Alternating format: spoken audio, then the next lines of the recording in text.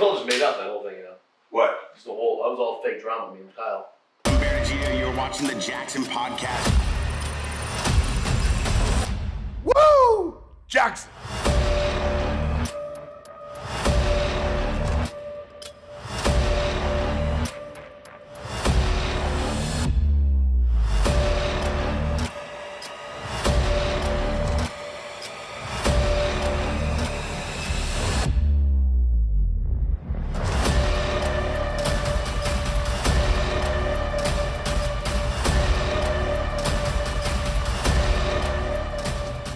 And you're on the Jaxxon Podcast. I'm Bob Menery. Make sure you stay tuned. The next episode will be a lot more normal and better than this one was. Take care, everyone. Now, what do I gotta do? What are you doing? He's got a lot of What's going on here? What the fuck are you doing? I gotta stand here. What's going on here? Holy shit. Like an animal. I need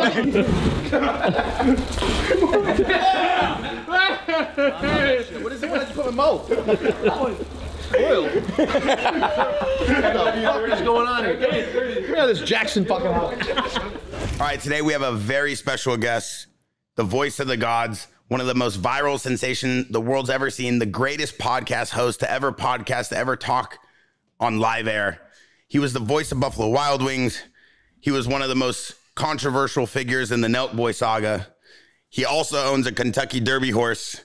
He's friends with Little Durk. He's traveled the seven seas and he's bet on every game possible without ever winning. He's Bob Menery, ladies and gentlemen. It's great to have you on the podcast. About seventy-five percent of that is true. Okay. Which, Seventy-five which percent part wouldn't be true? The gambling part is definitely true. I had to slow that down. That was bad. I lost like a million dollars last year gambling. Wow, we got to get into that. We, we was need to figure out how that happened. That was dark. A million of your Nelk own money. Boy controversy. The brought up. Controversial. controversial. Nelk Boy thing really wasn't me. I'm from Boston. I stand up. For I love the Nelk Boys. You do? Yeah, I think they're phenomenal. You know, I think that they're. Uh, I think that good to have you in here too. Yeah, By the way, yeah. I think that. Uh, I think that they are work very hard. They have a really good brand and a solid brand, but there's just personal. Just a I, couple I like things. Mm. John and Sammy. Steve's amazing. I, I don't have that much interaction with Kyle, but Steve's amazing. I think Mm. I think you on that whole. Yeah, go ahead. No, I thought you on that whole thing was cool. Yeah, Steve's. I think Steve's great. John and Sammy and I had our differences, and Kyle and I had our differences. Uh, but as for the rest of them, when I say the Nelk Boys, I don't have a problem with the Nelk Boys. It's just more on the business side of things, just the way they choose, chose to handle certain things. Yeah, we got to we got to dive into that. Mm-hmm. I want to kick off with how did you even start with this viral and engaging brand? Like, how did you even build your audience? It seems like you have one of the most core audiences I've ever ever seen. You you talk about a deer gets a million views. You you talk about some dude's backswing gets a million views. And I've seen you swing. It's not the greatest, but you do have a nice stroke. But how did you build this viral brand?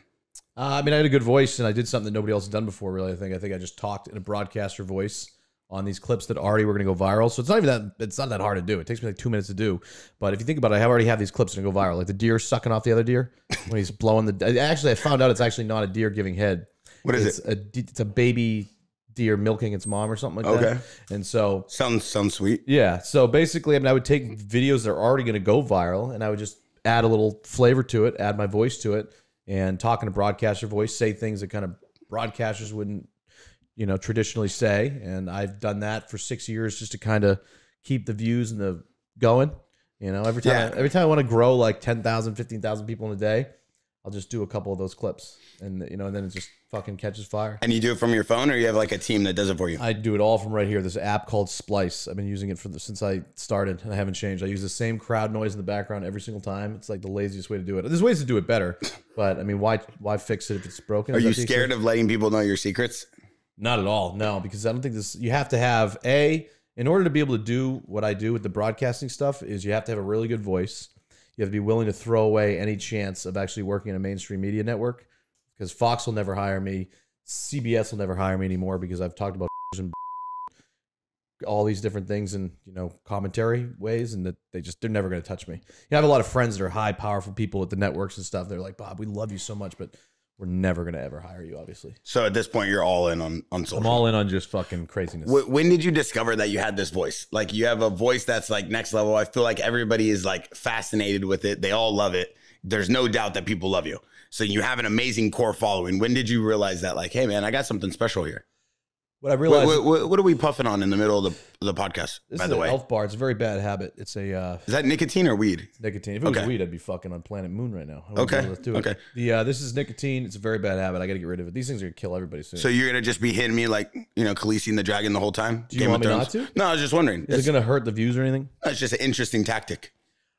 Yeah, I don't know. I just kind of feel like I'm the most comfortable when I just always doing what I want to do. Hey, do you? This is your You stage. know I'm just mean? on here. and I just like to. I don't know. I mean, I, I can stop if you want. No, I think it's phenomenal. might I just like- want the viewers at home to realize what's going on here. He's got a lime green popsicle in his hand that he keeps sucking on. I got this disgusting, awful habit that I have that I got to get rid of. yeah. So, all right, where were we again? Oh yeah, the voice thing. It just developed when I was. I don't know. I just when I was younger, probably right when uh like 18 years old, I started having a weird voice and I started talking in a weird voice and Hit puberty, voice change, and you were able to voice alter it. change, turned into this when I want to turn it on to this little broadcaster voice, and then Hit me uh, with like I'm Bob Menery. I'm on the Jaxxon hi everybody, podcast. I'm Bob Menery, and I'm on the Jaxxon Podcast. And today, what a beautiful day it is! Green Bay against the New York Jets here at E ESPN. If you're just joining us, well, it's snowing outside. You know, I don't know, fucking that, that's it, and that's how I. good. And It's that was good. it. So uh, yeah, I mean, then fucking just started doing these clips, and then boom.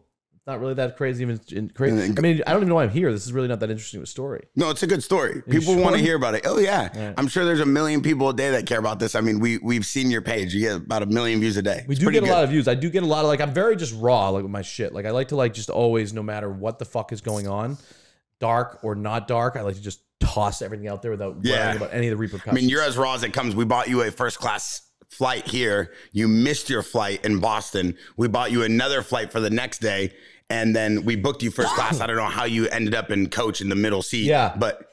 So explain to me, we've seen you kind of like your story. I think a lot of people already know your story, so we don't have to go too deep into it. But I mean, you started off as a golf caddy. You were living in your car. You're like building this like brand of yourself as Bob Menery. At the time, I'm sure you didn't have that many followers. I didn't even have a following then. Got it. So I was carrying golf bags at this country club, Wilshire Country Club, carrying for some cool people. I was like Aaron Rodgers caddy, caddy for Will Ferrell, carry a bunch of guys, and I would just uh, basically go to work every day at five in the morning and uh, try and get work as a golf caddy. But the problem is, you know, as a golf caddy, for many golf caddies out there listening, you know how you know there's like 40 people in a caddy yard waiting for a job, and there's not unlimited jobs on a golf course. Just decide who decides to play golf that day, and so you, you no matter what time you got there.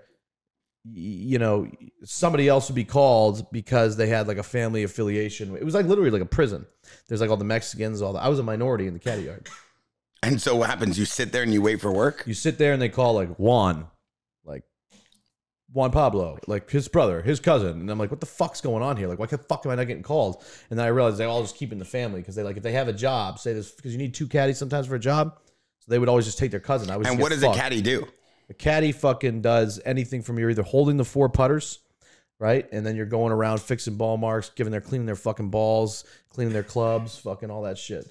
And then the other thing will be you're carrying two bags on a golf course, 18 holes a day, and just fucking yeah, just carrying golf bags, telling them distances, shooting the distances. Hey, you're 150 yards away. The wind's doing this. The fuck, I was all fucking fucked up the whole time, but you know, I did a pretty So were job. you a good caddy? I think I was one of the best caddies to ever live. So what's it like caddying for Will Ferrell and Aaron Rodgers? Aaron was like quiet. Will was they kind of just did their own thing. I mean, there was they played some big money games. Like Aaron played some big money games. Brian Baumgartner was another Aaron Aaron Rodgers is playing for money out there. big money. Yeah, Aaron would Like play. what's some- big money? A couple grand yeah, probably like you know five grand something per 10 hole. Nah, probably overall max exposure probably like ten grand.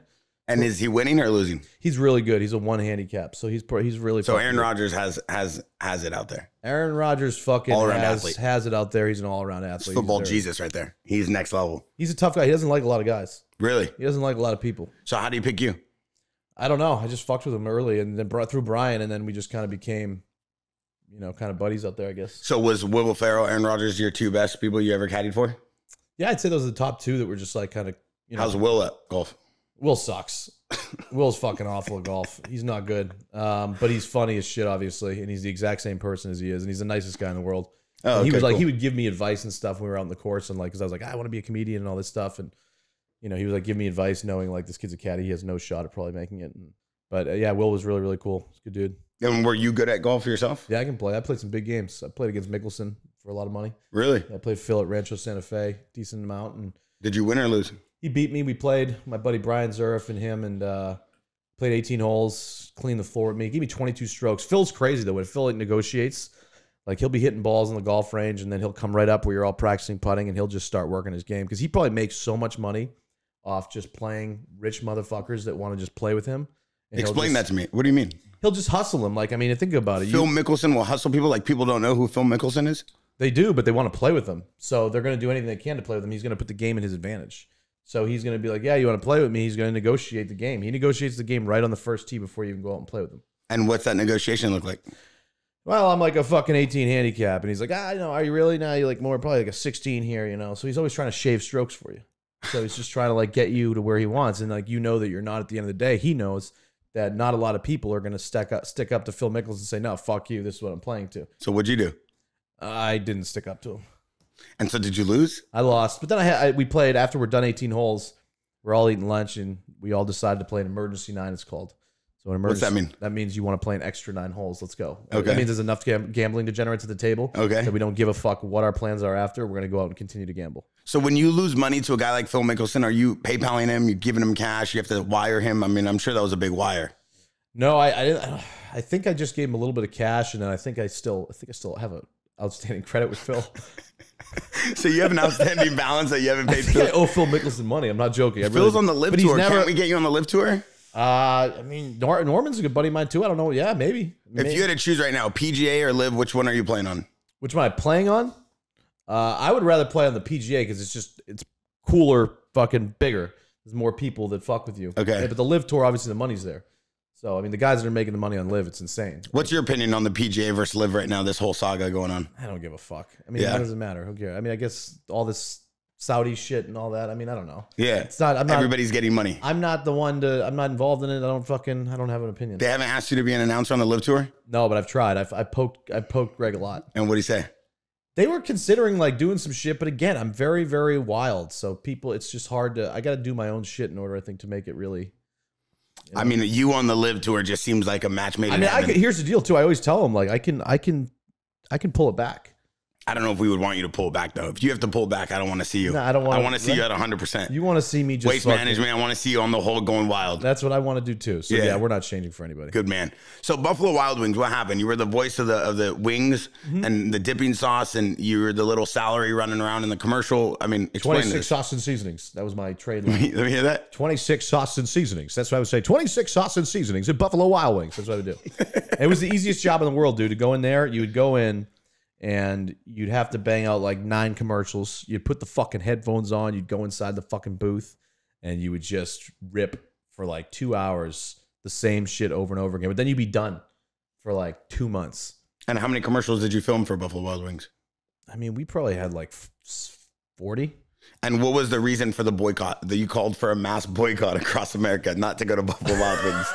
what was the Oh, reason for that? well- I don't want to see no one eating at Buffalo Wild Wings anymore. Well, was- no, no. Well, I just, you know, I have, I'm sensitive. So, you know, like, no, we know. after three years, when they decided not to want to continue with me anymore, I just, I mean, three years is a long time. I had to be pretty happy about that. Like, uh, na- Okay. the voice of the national. I'm surprised you made it three months with the way you story everything. Bro, if it's I- not a sane convention, it's you complaining about your girl. I mean, it, your stories is one of the most wild. It's like Jerry Springer, your your Instagram story. That's exactly what I'm going for. yeah.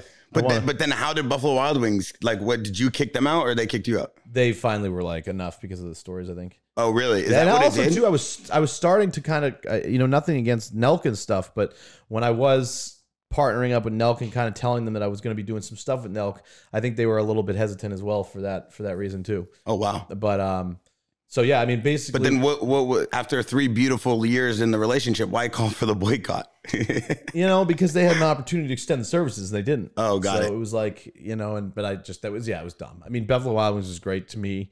I was fine with them. It was just uh it's funny. I don't know. I just Can, think it's fucking me? funny. Can you like, give me one of the commercials you did for Buffalo Wild Wings? I don't remember any of them. I mean, I was like, there were some of those commercials that I was a little bit under the influence for.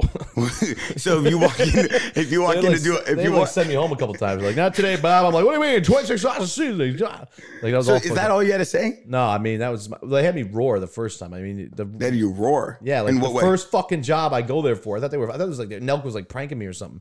Because I go in, it was the first day I ever had to record shit for B Dubs, and it was a March Madness for the the play the March Madness tournament, the biggest fucking tournament's gonna be played all over the TV, biggest commercial run ever, and fucking. I had to go in there and they're like, hey Bob, uh, you know, just roar for us. I'm like, what the fuck are you talking about roar? They're like, yeah, give us like different roars, like a tiger. Mhm. I'm like, am I being fucked with here? So I just started roaring like for like 15 minutes and giving them all different variations of roaring, like a tiger. And then Can they you give us an example of what? no, I'm, not gonna give a fucking example. No, just just like No, what do you mean roar like a tiger? I'm so confused. the commercial was like at the end of every commercial was like Buffalo Wild Wings roar. That was it. Why is it so awkwardly quiet in here? It's just, it- I mean, you're roaring, dude. You're like you're like 40 and you're roaring. Yeah, it's funny. I'm 35 and I was 32 at the time. Why is everybody saying 40? I'm 35. Are you really? Yeah, I'm 35 years old. Wow, you look great. Are you sure? Yeah. Looks like you hit the Lido Hotel spa right now. I love so let, let's let's kind of go into this. So I think a lot of people look at you and they go, "How does this guy know everybody?" And one of the big things on Nelk was you always talked about how you brought all the guests and everybody knows you. And I appreciate you pulling out your Jaxxon chain. That's I a love this that's stuff. a Cuban five millimeter in silver. I also love this too. What you did for me. Yeah. I want to say you made me a custom Jaxxon Ripper uh, Magoo. Ripper Magoo shirt. The only thing I don't like is I don't think you could have taken a crackhead off the street, and uh, and, and that's probably the biggest crackhead I've ever seen in my life. Right there. We you want- don't even know my eyes are droopy. Do I? I look like this? No, we just wanted to play into the persona of what people thought you look like. This is fucking brutal, That's the Jaxxon Ripper Magoo tee. man. Oh man. Well, King, I king of king of the mic, the greatest podcast host to ever do it. well, I'll tell you what. I'm gonna I'm gonna give this away to Yes. somebody. Yes. because this is. I mean, actually, I might keep it. Man of This the is people. Pretty cool. This is pretty cool. Man of the people. Wear So- that to Kentucky Derby. I'm sure you'll win. I will. I mean, a lot of people look at you, Bob, and and once again, I appreciate you wearing the chain. That's the Cuban five millimeter in silver. I that's love our, the that's our number one millimeter. selling men's chain right there. Because you know what it is too. I think Real pe- silver. people too spend too much money on chains. Yeah, I mean, our chains are basically bold. They stand out. They're quality. They're all made in Italy, and you know they're affordable and they're at the perfect price point. I think that's why everybody's coming to Jaxxon. Jaxxon.com. Get everything you need. Is there But- anybody has a, is there a drink here, Brad? You might grab me like a vodka and uh, orange juice. Can we get Bob a drink, please, so we can we can uh, like any time today would be on, maybe amazing. just bring the whole entire bottle. Yeah, just bring the whole bottle. Should we bring the Dan Bilzerian drink? Yeah, bring. I Hey, bring me the bring me the Dan tequila. I'm sure he'll love this. Danny Bull. Oh yeah, I love it. Danny. Hey, shout out to uh, Bob's uh, assistant BC from Fred HB, Sadat. He's back. and he's in the he's in the Jaxxon merch. Yo, this is Dan's tequila, by the way. We're not sponsored. We actually just love Dan. He's a great guy. Dan, Dan's for this. Dan, this is to you. David Bell too as well. Unlock. I, like the company Unlock too. I know that you. uh It's the new OnlyFans thing that they have. I don't know, but Dan Bilzerian's a legend. I actually met Dan years ago. Funny story. He goes, Hey, let's go play paintball. I go, No problem. Let's go to SC Village, my paintball park in Chino. He goes, Cool, I'll meet you there. He goes, I'm here. I go, Where are you? It's a little. yeah, go ahead. What, what, what's wrong with that? Strong, right? Dan's got the strongest tequila in the game. Yeah, pull it together. Let's get him a chaser. No, it's, Some I don't need a chaser. No, I'm just I'm tasting it. Yeah, yeah, he, yeah. Give him a chaser. Red Bull. Just is there any, Sugar free. I'll take one of those too. Shout out to Ryan Sheckler, sugar free Red Bull. No, and Dan, Dan's like, hey, I'm here. I'm at I'm at the paintball park, and I go, how how are you here? I see no cars. The guy took the first ever Uber helicopter and landed at my paintball park. Hops out of it. And he's with a bunch of my buddies. He was with JK and all these guys, and my boy J Rock from Miami. And I'm like, "What are you doing, Dan?" And he flew a helicopter with someone, obviously, and landed at my paintball park to play paintball for the day. The guy is one of a kind. Yeah. He spares no expenses to have the full experience. Dan, we love you. So, you ever been to his house in Vegas? oh yeah, It's fucking wild. He's got all the the, uh, the baseball machines and the everything. trampolines. It's a fun factory for adults. shit. I'm sure you just have the time of your life there. I didn't really do much. I just floated in the pool. I was hungover. Oh, that's exciting. really get to explain. you get to go to Disneyland and you go on no rides. That's that's great, Bob. So explain this to me. Mm-hmm. Everybody looks at you and they go, "This guy brings amazing guests. He was the man, the face of so many podcasts, so many groups. You know every single celebrity. It seems like every celebrity has known you forever. Dana White talks very highly of you during press conferences Ish, once in a while. once in a while. And uh, and it seems like you know you're in the studio all night with Little Durk, and people are like, okay, what does Bob do? How does he know these people? Like, how do you know Little Durk? Like, let's start with that. Like, I feel like these are just really interesting things that no one has ever heard from you. How do I? And you could talk when you're done blowing that. No Yeah, yeah, worries. sorry. Yeah, So- no, no, no worries. It's my bad. I don't mean to be rude. It's just No, Durk. no, it's great. Durk has uh, always been just. I've been a huge supporter of Durk's music, so I always play his shit all, all the time on my on my stuff all the time. And so uh, I'm- good buddies with this boy Rel. Rel's his manager ish. Mm-hmm. And so uh, Durk just kind of and I a lot of these guys I meet. As weird as it sounds, not it's not I'm not it's not like Grindr, but I meet a lot of these guys online. Oh, okay. You know, so just a Like lot they're of fans of your videos. a lot of times on DMs, like either athletes will slide in and say like, "Dude, this is fucking hilarious," or you know, I'll aggressively slide in to a bunch of people and just. Try What does an aggressive slide look like? I mean, aggressive enough where when I meet them face to face and I haven't met them before, and I, you know, hey, what's going on? Say, and this is not a real situation, but hey, Drake, how you doing, man? Bob, nice to meet you. And then being like, oh fuck, I got to delete every DM I've sent him, or else he's gonna think I'm like the biggest sketchball in the world because I like sometimes hammer people in the DMs. So you'll send multiple DMs without Oh rem- God. responding? Yeah. yeah. I'll sometimes like if I want something to get done or I want to get in contact with somebody, I'm like the biggest fucking crazy man when it comes to trying to get their Yeah, I remember the first time you DM me back, you were just like, "Hey, f you." I was like, "Whoa, what'd I do?" And you're like, "No, nothing. You're a great guy. I'm just on a hot one." I was like, "All right, cool. I love it, Bob." Yeah, I probably was in a dark, dark space there. but uh, no, I, I, you know, Durk basically and I just became very close through different shit, and then, you know, he had his new album that he wanted to, he was going over that's launching very soon, Uh huh. and uh, I think Rel and him were just basically popped by the studio, and so I popped in, and uh, I mean, it was just, it was a very small group. We just walked in, and uh, definitely an intimidating group in there. And and do you feel like a lot of these people, because obviously it's not like you're peddling a business or pushing a brand, it's mainly just you. Do you feel like it's very easy to authentically I build feel a like I don't want anything from them. Yeah. and I know that I'm only going to show support. yeah, So- and like I'm a you know I consider myself somewhat of a good dude. yeah, know, you are so, 100. percent You You know, are. a pretty fun hang I think. So we all I really just think that that's the reason is you know I'm a good dude. I show respect, and in any situation that I'm in, I always try and like give. I try and host. Like Nice. even if I get invited somewhere to like a fucking where they like they want to take care of me. I always feel it's my job to like host the situation. Yeah, I feel like you were in the studio with Durk for like six hours. Like, what are you doing for him in the studio? Are you Oh, coming up man. with Nah, bars? nah, are we you did- ghostwriting? We walked in and uh, we just sat down and we just talked about. I mean, we just first talked about for like our my, our chick situation and shit. You know, I know he has his girl and my girl. We talked about that for a little bit for like a half hour, and because he's in his fields a little bit too on the on the Instagram. Why I mean, he writes a lot about India. His girl a lot. are they still back? I mean, I don't know the situation there. I think that they both care a lot about each other. So I don't really know a lot too much about that. But they, uh, yeah, I mean, and then all of a sudden, you know, we're just sitting there and DJ Band's in there and Doodie Lo and uh, I love that Doodie Lo Duty song. Low's the fucking man. I love his scary that song. fucking motherfucker. Because when I first walked first walked in there, you got to realize like it's the rap game. It's fucking dangerous. It's, it's you're in LA, you know, and you walk in and there's a lot of guys like, all right, who's this fucking white boy? It's like just here. Are they pressing you? they're not pressing me direct, but they're definitely like, you know, they're definitely just kind of looking. You come with security? Fuck no. Solo dolo? I have a guy outside that's not security. What's he Just- doing outside? BC? Just if I have to leave, you know, I'm not gonna be like after meeting guys in the rap game. I don't think you want to be waiting around outside for an Uber, being like da da da da. da just you know, oh, so you have a driver when you, you, go have a to driver these- that's yeah. just there, of course. And so, um, yeah, I mean, they basically go all in there, and we just jammed out and played the new album. And the new album, he is it's fucking insane. And then I would be like, I get so into it because I love rap so much, and I'm like, it's not my place to say this, but I get really comfortable fast. And like, he would play a song, and it would be kind of like slow. I like the really hard gangster shit, and I'd be very vocal. I'd be like, dude, I fucking hate it.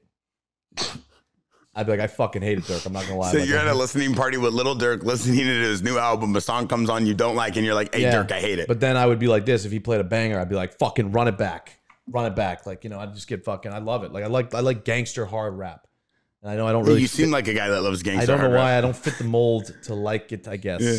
I thought you were more of a Taylor Swift type of guy. I can get I can get there Yeah. too, but it's more just. If you had to choose an artist right now, who's your favorite artist? I mean, I'm telling you, I like Durk and Doodie Lo together. Those are your two favorite artists right now in the Yeah, game. and their new album is ridiculous. Wow. ridiculous. That's good to know. Yeah, so yeah. what's what's your favorite meal in Boston? We saw you eating a lot. We saw you in your feelings for a few days. It seemed like all you were doing was eating. You were looking for meals. I saw you trying to put down something. What's your favorite meal in Boston? My favorite meal in Boston. I like going to the North End. If anybody ever been to Boston, the Mm-hmm. best place to go in the North End. So you go to Strega. Strega's a good place. They got great Italian out there. Yeah. Boston's a great city. It's very clean, very safe. There's no issues. You know, Are you born and raised from Boston? born and raised from Lawrence, Massachusetts, just outside? Yeah. it's a But little- you claim Boston. I claim Boston because it's easier. Not a lot of people know Got it. uh, Lawrence. Does anybody get upset at you not really being from Boston but claiming it? I mean, I'm from worse than that. I'm from Lawrence. Lawrence is a fucking rough city. Okay, so you're Lawrence is cool. a rough city, right, Brett? It's a, it's a fucking lot fucking the Fall River. Come on, please. So what's an interesting? That's fact? why I think I get the hood in me. I'm from the I'm from the hood a little bit. Yeah, you seem very hood. I know. What's an interesting? My fact? Newport Bridge Lido Hotel shirt on here. I want to know an interesting fact about you. I want to know something. I want the people at home to know something about you that they wouldn't know. Like I, I- heard I online suffer- that you you've never drinking a glass of water. Is that true? I uh I've never drinking a glass of water in my life. I'm an android. So you, so you don't drink water. I'm a water. fucking android. I've never had I I never had a glass of water. so I'm life. sitting near Optimus Prime. So you don't drink any water. I can transform at any fucking time you want when I snap my fingers. No, I think one fact that people don't know about is I suffer from like extreme paranoia sometimes. What does that mean? Like just crazy extreme paranoia where I mean Brett could probably explain it better, but sometimes like I'll just think people will be after me. Oh, really? Like in real life? Yeah, I like had to like just escape LA and like because I thought people were after me. In what way though? Like, is this like mentally, or you actually just feel like you did something, so someone's after you? I didn't do anything. I mean, but I also associate myself with a lot of different people, so I never really know. But that plays in my head. But yeah, sometimes I just get really paranoid about certain things, and so I just like. Sometimes you should relax, maybe not drink, not smoke. No, you know few funny days too. I don't like. I, I play this whole thing up that I drink and party a lot more. Oh, you definitely drink and party though. Huh? It's all fake. I don't know if you really play that up. I mean, you definitely do. Yeah, no, but so I had like an instance the other day where like I was up for a couple days and I thought these like uh, rival people like were after me, so I had to like I packed all my shit and I just left town and went back to Boston. I thought people were trying to kill me. Okay, then you obviously escaped like John Wick. I made You're it out, out. like John Wick. Yeah, so you're good. Catch me if you can, motherfucker. Yeah, you're good. To the imaginary people that are chasing me. And then you went back to Boston, called me. We got you a flight. You missed the flight. Obviously, The you only weren't reason I worried missed at the, that the only reason I missed the flight, and this is the reason. I, Yeah. because I, you know, and I think actually in my defense, by Yeah. way, before you fucking trash me, here, is I think I did a pretty good job of getting here in two days. no, you did. We We, love you. this in We two love days. you. I mean, we this is you. pretty good. This is- Bob, Bob's one of a kind. I think everybody in the in the in the room can agree. Bob's one of a kind. Can we get a clap for Bob? Thanks. Thank you all. I mean, this means so much to me here, guys. Thank you so yeah, I want to make sure that you feel good. I mean, no, I, I think uh, you know what it is, and to miss the plane that that was. uh I mean, you did. You did. sleep. In your defense, you did text me the night before at 11 p.m. and say, "I never miss flights, but if I do miss flights and it happened to be tomorrow, I'm sorry." Yeah, so that's that's what I went to bed. That's what I went to bed with. Yeah, because I went I went through a lot with something that happened in my life, and so I Okay. I needed to like I was couldn't sleep, and so I knew that if I woke up and uh, by the time I fell asleep, it'd be 1.30. If I woke up at five in the morning, I'm looking at three and a half hours sleep. I'm like, you know what? I'm gonna I, if I sleep if I get up, I get up. If I don't, I'm just gonna sleep and because I need to I need to get to sleep. It's very Yeah. important. No, you're a good guy, Bob. We're, we're glad you made it out. We're glad you made it to Lido Hotel in the Jaxxon headquarters. Why did Dana White call you out? Yeah, like why? Uh, I think that Dana called me out. So it was surprising me as ever. So this is when me and Kyle were going at it online. I decided to just go nuclear. Of course. Uh, by the way, I think Dana White is the greatest chairman executive of any sports organization the world's ever seen. What he's done to UFC transitioned it to one of the greatest sports organizations in the world. So I do believe that we got to give Dana credit. So I think if he did call you out, it was for a good reason. I want to make that very no, clear. it wasn't. No? No. Okay. And I love Dana. We talk almost every day. Dana's Okay. a great dude. Um, he did not call me out for good reason. Dana is a great man. He's done amazing things. He's done fantastic, fantastic things for me and everybody that I know, my family and all that. Uh, the only thing is, it wasn't really his place to get involved. It was me and Kyle fucking going back and forth. But I think the reason why he obviously kind of spoke up was because he, you know, I think he has obviously some business ties with them, which is fine. Um, but also at the same time, he just thought I was being a pussy. You know, he's just like, if you're gonna do Because anything, you were complaining? he's like, if you're gonna do anything, just do it legally behind the scenes and just fucking like, don't stop being a fucking pussy and crying on the internet. And I'm like, well, first of all, that's just sometimes what I do. Which whether people want to, that's just where I'm from. I fucking vocal. I just you know take it how you want. But at the end of the day, I was pissed off. You know, I was betrayed. I was fucking let down by these guys, and that fucking just drove me through a wall. Was Dana White your friend before Nelk, or was he was Nelk already friends with Dana White? So I had uh, I had known Dana prior. Got it. And uh, then, you know, however they want to tell the story. Uh, but basically, I, I, I talked to Dana for a while about bringing these guys who I thought were really influential into the UFC and having them meet. And his kids, I guess, knew of him. But I remember kind of just really pushing for Nelk and Dana to meet up and to get involved with each other. And that's when the whole um, I, I thought it made sense to, you know, I, I texted Dana and said, "Hey, what happens if we send Nelk boys to Abu Dhabi during COVID and uh, let's, you know, get them on the ground there as media? And uh, I think, you know, you guys are gonna get along like fucking spaghetti and meatball. and fucking. Uh, Did you go with them? I went with them, but I had one of my panic things, What's that? so I had to get out of town. So I thought people were after me again. Really? Yeah. So I I, I used the excuse that my dad's eyeball didn't work. Like my dad had an eye infection, which he kind of did, but I just like I landed there. My job was done though. I got the guys there to Abu Dhabi, flew them. Dana put out this really nice like spread for us, welcoming us into, you know, Abu Dhabi. And I was there. It was quarantined, so we all were in individual rooms. It was like me, Kyle, Salim, all these guys, all in one floor of the W Hotel Yas Island. And uh, we couldn't leave the room for 48 hours because we all had to get tested and everything. And uh, basically, we were all sneaking, like sneak through the little cracks to like go and fucking party. But we couldn't leave the hotel 48 hours, so we were all You tested couldn't leave the hotel or your room. the room because they had like they had like people in suits come up tell because it was the heart of COVID. Okay. And so then um How does that work? Did they come and check you like every hour? yeah, there was I mean it was like at a point where I mean Dana ran a pretty loose ship, but at the same time he he really had no choice at that time but to play like he had to be really strict with all the rules Got it. you know Got it. there's other players involved.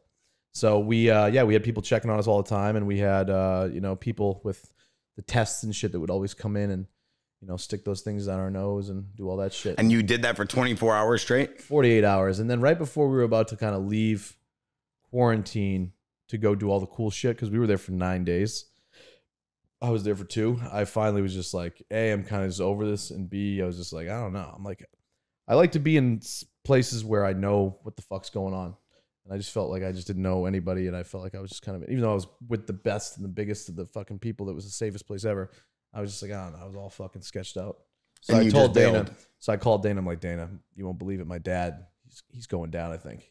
He's like, what do you mean? I'm like, his eyeball, it's all fucked up. I think he's losing his vision. I got to get out of here. You got to like arrange a plane for me. So Dana like arranged this fucking plane, 17 hours nonstop from Abu Dhabi to fucking home for me with like there was like two people on it, like a massive fucking plane. And he's just like, You're fucking nuts. I'm like, Yeah, I know. But congrat congratulations. You you two are gonna get along well. My job's done. And then I jumped on a rope and floated away. So you you connect the Nelk Boys with Dana for this Abu Dhabi during COVID. They end up becoming this amazing relationship with Dana White and the UFC and just kind of like take over the UFC. They're at every event. Yeah, I They're think they added massive, massive value to the UFC. And I Yeah. think that Dana obviously added massive value to them. Oh, I think that's a relationship I think made that for was made for. I mean, that's a great eye of you, obviously, from a marketing sense, seeing that that would work. That's what I'm very good at too. That's what that's what I'm I very good like at too. Is amazing. I almost like doing rather because I don't even really like to work for myself, which is weird. I, I like to believe it or not, like do stuff for other people. I like to like put other shit together.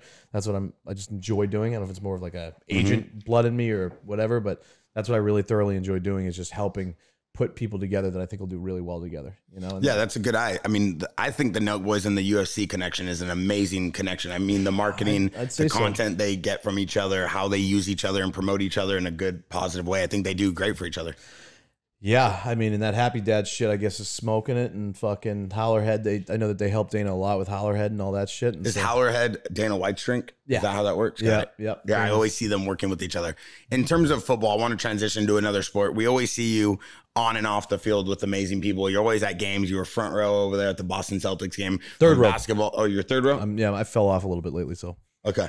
Uh, did you pay for those seats or someone gave them to you? uh, somebody gave me those. I try and avoid as much as I can, obviously, paying for you know stuff like that. I'll do. It's good to see you still out there in the mix, though. Yeah, I mean, I, it's my home city. I live ten minutes from the thing, so and I was in my my because I shut away. I, I- usually like if I, I don't, I'll go in my hotel room or my thing for like three days straight and not see anybody, not go out and not do anything sometimes. So I was in that mode, and so I was like, you know, fuck it, I'm gonna go out, and I went to the game. And the game was good. I mean, they lost. I left in the halftime. I left at halftime. So you had great seats and you left at halftime. Yeah, I left at halftime. Why? Because I had to go fucking see you. Oh, okay. Yeah, And then you you still missed the me flight. shit. You had giving me shit, and I had to go see you. And then you missed the flight. And then Good that thing night you I left missed the flight. You know what I mean? So, in terms of football, who are like your three favorite football players? My three favorite football players are my three people that I'm probably closest to relationship wise. I mean, either or. I Um, like to kind of see a sense of feel what, what you vibe with. I really, really love. I got involved in this like sports agency my buddy has. It's called Loyalty Above All. He has a little sports agency he started, so Okay. I got involved in that. So Dalvin Cook is one of his clients, and Dalvin's been a really good friend of mine, the running back for the Minnesota Vikings. Mhm. Uh, Marlon Humphrey is another one. He's the second highest paid cornerback in the, for the Baltimore Ravens. And the funny thing about Mm-hmm. Marlon is he's the cheapest fucking guy in the world. Really? He's worth like ninety million dollars, and he's calling me saying, "Ask if I can sell his fucking, help him sell his fucking kitchen table for thirty dollars on eBay." I'm like, "What the fuck are you talking about, bro? You made ninety five million dollars. You're trying to sell like your lawn chairs and fucking shit on eBay and ask me to help you." And did you sell them? I tried, but just brutal, brutal You couldn't give him a commercial, like uh brutal you couldn't give him like a Buffalo Wild Wings commercial Yeah. and sell that thing on exactly. Craigslist. And then DK Metcalf's another one. I mean, I'm DK 's the pretty much man. I fuck with pretty much all of them. I mean, Yeah, DK's a man. a lot of them. OBJ, your guy who is whatever, has always been really respectful to me. Uh, OBJ's the man too. That guy is the king of style, and to watch him continuously come back and come back and stay at the height and Yeah. the, the mainstream press and stay in the front of the news, and now he's on the Ravens. I mean, it's going to be an amazing year for OBJ. Oh, the Ravens be nasty, and they just got our guy Zay Flowers. So I was at the NFL draft. Mm-hmm. So we were at the. uh what were you there for? I was there because we have I have a little piece of this agency. So we were there. One of our guys was in it. So Zay Flowers was the wide receiver who was drafted by the Ravens. How do you help this agency? Do you do anything for them? Yeah. So basically, I'll I don't have an you know I don't I'm not an NFL agent, but I'll sometimes help them acquire some clients, and then I'll take a piece of whatever that client brings in Oh, nice, the agency. nice. Have you got any good players with the agency? Yeah, a few. Nice, that's good. And is it true that you own a piece of a Kentucky Derby horse? Because I Not see this the- all right, all so I don't own the piece of Kentucky Derby horse, but I'm I'm working with this app Commonwealth, so I'm bringing somebody to the Derby, um, and through their app you can buy shares of a racehorse and get involved that way. And so all the guys that I'm with uh, own this horse, but since part of this deal, if the horse wins. I get a piece of it, so I consider it I own part of the horse. I love it. So if, if your like horse I'm wins Kentucky him. Derby, you're getting some money. if the horse wins, I am getting definitely some money. Yes, Is that why you're excited to go? I am not. Uh, am I excited? I don't even know if I'm really that excited to go to the Kentucky Derby this year. Um, but I'm excited to go because I like randomly fucking with a random person. Like I take, I'm taking this random guy I've never met before, like a And random follower. For what reason? I don't know. I like to do that stuff. Like you don't have to. I, I just figure like you know they have those NFTs, those shitty NFTs that people like sell and they scam people on and stuff. Yeah. You know those like big ones that people pay like you know the crazy amounts of money for, and like some of the utilities behind it are like come to a game, come to like I just do that without having to buy NFT. And so you're gonna bring a random fan with you from from Instagram to the Kentucky Derby. Yep. So I'm bringing a random person. Like I did it before. I took like uh, uh to Miami. I flew these two kids out to Miami just for to hang and experience two days like with Bob and what it was like. And Well, what do you do in Miami with a random person? so that's so the what's a weekend thing. with Bob look like so in Miami? like what they don't realize is they think they're coming over and they're just like fucking gonna have the time of their life, but sometimes I'm just not in the mood to like do anything. So they came to Miami, these two guys stoked as ever, and there was like 20 just hood dudes in there just blasting rap music in Miami, and we all just sat there for like two days and didn't leave the house. So that was like the experience. It was like, yeah, it was. That's basically what it was. so these people think they're gonna go to Miami with you and have the time of their life. Yeah, I mean, but they had a leave the great time. They got the they took the jet skis out and all that because one of my partners is uh, uh in the marijuana space, and so a lot of the times we go to Miami, go to his spot and do the whole song and dance with the jet skis and the pools and all that stuff. And so yeah, So they got to live a little, but they're not they're not in the club at Live. I mean, look at you you you gotta. You're gonna go do exactly what I'm gonna do. That's how the like even for the Kentucky Derby, like I don't even have a place to stay yet. So this guy that's coming to win is coming with me, to, and we don't have a place to stay. So so where do you think you're gonna stay? We don't know. That's the fun of it. We're gonna figure that out, me and the guy. But you don't feel like the need to maybe game plan a little bit and put it together. Maybe have the assistant BC over here line you up an Airbnb. Well, now that BC's back to work, yeah, but uh, yeah, but before that, no, this kid was coming in hot, and I also too, I think it's like funnier that way too, because also, I mean, he, he's gonna be. We have the craziest shit. We have like the finish line. We have Millionaires Row. We have like the most fuck you shit you can possibly have. So what is that? What's Millionaires Row? What is the finish line? Um, I mean, we have just different sections that you can go into during the Derby. So right How'd you get all that? through my partner, one of my partners that I did the deal with. So And you get to go to finish line and we get to go anywhere we want basically on the property in a sense because we have a horse too. So if the fucking thing wins, you're gonna see me fucking my shirt off, running through the fucking like this, swinging it in the air with the fucking random fuck face that's with me. and and are are you gonna be mingling with Tom Brady while you're out there? No, not Tom. I don't think Tom fucks with me. Why not? I don't know. And I was a diehard. Tom is my. That's the guy I looked up to more than ever because you know I'm from New England. So I would think you and Tom would be like best friends.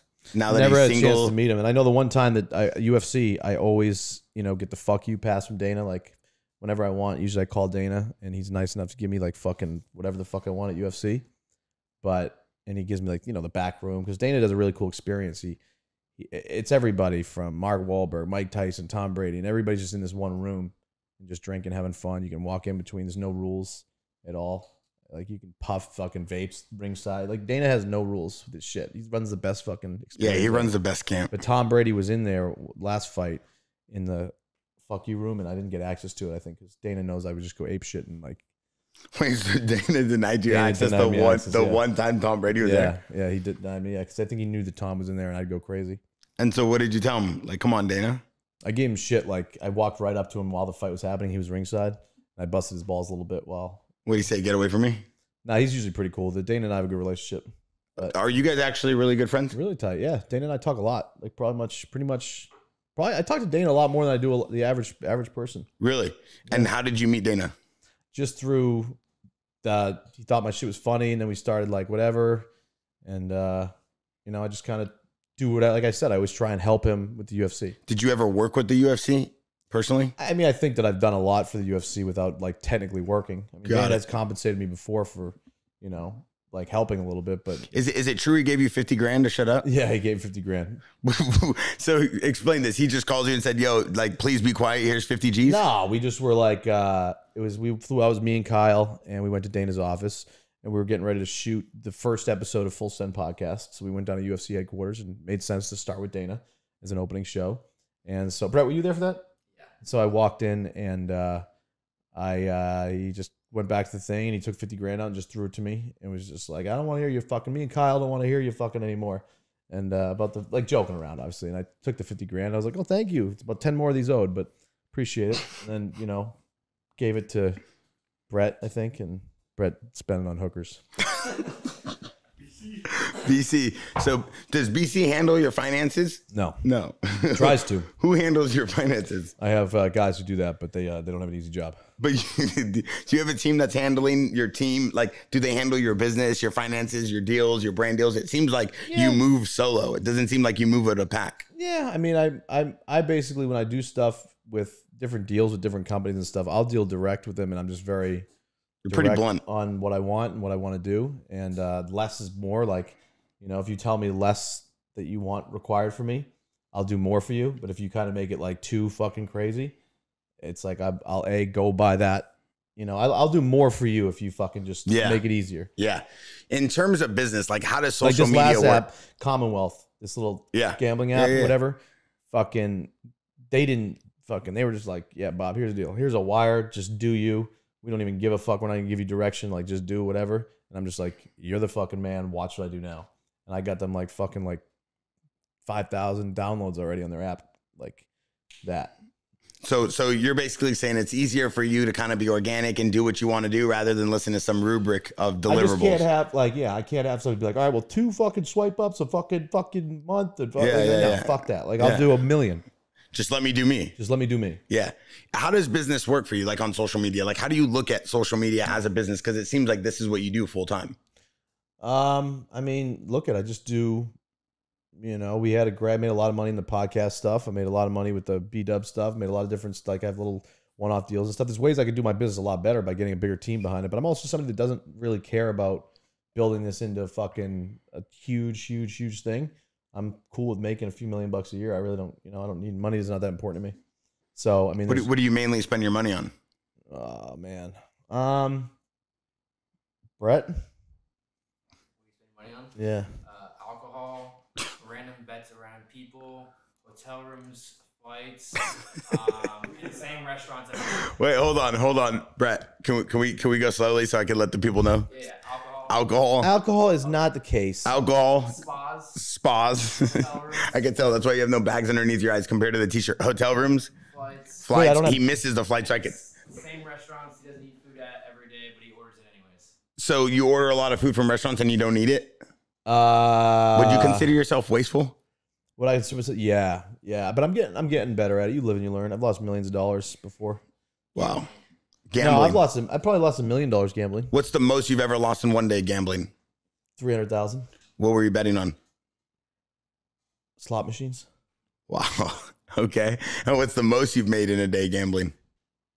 Two hundred thousand What was that on? slot machines. Wow. So you're a big slot guy. No, I don't. I don't really. I don't gamble anymore. Why not? I don't gamble anymore. I really don't. You don't bet on games? Nope. No. And actually, I never really bet on games. Games are never my thing really that much. I mean, once in a while, I, yeah. I don't really gamble anymore. I just can't. A, I can't afford it anymore to even think about doing it. It's just not good. It was like I, I went through a fucking crazy ass run. I mean, I took a chance. And did you make a lot of money at the end of the run? I mean, what did I just tell you? I'm fucking down. What? Oh, you're still down. Yeah, You never climb out of that hole? You can't make that back and gamble. You can't win, bro. It's impossible. But there's there's you can't unless you're on the side where you're taking the action. You can't fucking win. It's impossible. No Wow. way. I mean, I, I fucking won.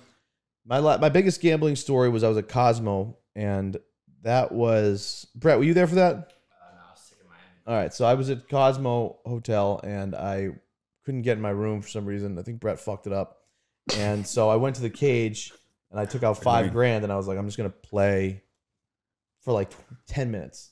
I had no intention of gambling, whatever. I took out five grand, and I went into the high limit slot machine room, and I just started putting in fucking, you know, hundred bucks into the machines and just fucking around for like ten minutes. I was gonna play. If I lost the five grand, I lost five grand, whatever. So after like two minutes, I, I hit like a twenty eight hundred dollar jackpot. I'm like, oh sweet, whatever. Then I move over. That one's hit. So when it's hit, it's flashing. They got to come over. They got to settle up with you. But you know, for somebody that's like ADHD, loves to fire, I go to the next machine while that's happening. So I put it in. Then the next thing you know, boom, I hit for like thirty five hundred. I'm like, all right.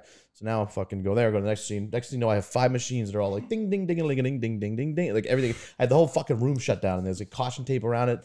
Whatever. I am up like twelve thousand bucks. Okay. Off these little fucking slot Okay. machines.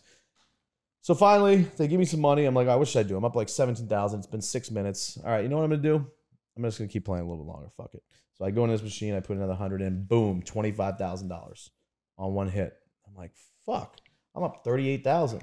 And now, meanwhile, I go to the other machine, put it in. It's like bing bing. I just keep hitting jackpots. There's this lady in the corner like smoking like three teeth, like smoking a cigarette, looking at me like you fucking cocksucker. I'm like, yeah, what's up, bitch? Let's go. I'm like, come on over here where it's fucking hot. And so then I got like everything. Like literally, they come in, they're like putting caution tape around the whole room. They actually Okay. they shut the whole room down for me. I made that up. But then, so I take my twenty five thousand, take my twenty five thousand dollars. I got thirty five thousand now. I'm up thirty, Okay. and I'm like, all right, I'm gonna get out of here. And they're like, you know, fuck it. I'm gonna play the same machine again for a minute. Up the bet to two hundred, put it in. Next thing you know, boom, I see ten, Jack, Queen, King, Ace, all clubs, with a huge bet. That is a natural royal flush. Okay, so I'm just like, holy fuck, this is a really big hit. Yeah. So the worst thing you can do is press the wrong button. Like, because you hit the wrong button, you don't hold all of them, you, lose it. So I'm just sitting there and I'm like, wow, this is a lot of money. So I'm like, hold, hold, hold, hold, hold. And I'm like, boop. And it was like $100,000. And I was like, okay, let's get the fuck out of here. So got the hundred and fucking forty-seven thousand dollars, handed it to my bat buddy in a bag, one of my partners, and uh, was like, "Put this in the safe. We're fucking done." And so, ended up up one hundred fifty. Yeah, hundred. Then I won another fifty. So I won two hundred thousand dollars that trip. That was like a month and a half ago, two months ago, I think. So you're on fire right now. No, I'm not really just playing right now. Oh, you're I was saving just, that, that, was money. just two months ago. That was just that was two months ago. I think he actually ended up taking the two hundred grand too because it was a deal that we had already. So I never even got it back. We had something already going. so the guy that you were with after you made the 200 grand kept the 200 grand? Yeah, kept the two hundred grand. Did you owe money? I didn't owe him money, but it was something like we were. I could have owed him money from something, a deal that we had. That like I was just like, all right, yeah, you can have that. So you owed him money before you, the day started. It depends how you look at it. well, if you make 200 grand and you don't get to take home the 200 grand because someone takes the 200 grand We from worked you. it out later. All right. You know. Yeah, So- I mean, it's just a very just you know, sit down with me. I'm just telling you, I'm very like real about everything. So Oh, I love it. I think this is why everybody loves you is you're real, you're raw, you're rugged. I I want made a lot of I've made a lot of wrong decisions, decisions in my life, brother. You know. I don't think it's wrong decisions. I think it's decisions that have built you. Your story is just being told. I don't I think, think, your I think we're about to, you know, I, I dealt with a lot of distractions and stuff that I don't think your story is even I don't even people think I've seen the majority of your book. You're still in the beginning chapters. I mean, bro, I've done a lot of shit. I've done a lot, a lot of shit in my life. I think a lot of people look at what you did with Nelk and Happy Dad and Full Send and they see the chaos. But I mean, you've dropped Nelk's name a few times already on the podcast. It seems like it's like a, a bad breakup, but you guys both still love each It- other and kind of want to unite still, the way you talk about them. I'd be more than I'd be more It than would happy be- to get back in business with those guys. It'd be know? crazy to see like a reunion there. But in terms of Don't think that's like happening. any bad blood or anything you regret or anything you would have done differently, I mean, the Nelk boys obviously, Kyle and Steve and all of them had an amazing thing going. Yes, you propelled it a little bit and you had the Happy Dad movement going, but they already had something going. And then you jumped on and you kind of took that podcast, you know, you launched it with them. Do you feel like you regret What, what, I happened? anything? I mean, the only thing I regret. I mean, you were you were pretty wild on what I social. what I would have done, which I re- which I would have done differently, Mm-hmm. is obviously just reduced the nuclear bomb. Yeah, I don't think you few needed to go to level 10 on social, right? But again, that's where I'm from. I just that's who I am, and yeah, I mean that's something that I probably should have done differently. I should have just gone straight to legal and just fucking handled it through that. And uh, that's the only thing I regret because I actually ended up fucking myself more because by doing all that stuff, it doesn't help your Your it brand. doesn't help your case. It doesn't help. I mean, do, do you feel like I, I think honestly, I think a lot of people feel like the Happy Dad as a brand and like Nelk as a brand, Full Send as a brand. Those are strong brands. Those guys have done an amazing. Oh, they- yeah, I mean, they're they're the be- I think they're the. I think they're the best. I think Kyle is one of the smartest guys and hardworking guys I've ever met. I'm never going to take that away from him. Yeah. John Shahidi is one of the smartest fucking dudes, connected guy I've ever fucking met. I'm not going to take that away from him. The only problem that I have is that when you give your word on something, I, I look at it differently. You guys have all this fuck you shit going on. You have all this stuff. You're doing making all this money and shit like that. You give me your word on something, right? Just don't don't take advantage of me and at the same time don't disrespect me. You know, like with Yeah. Colby Covington shit that went on.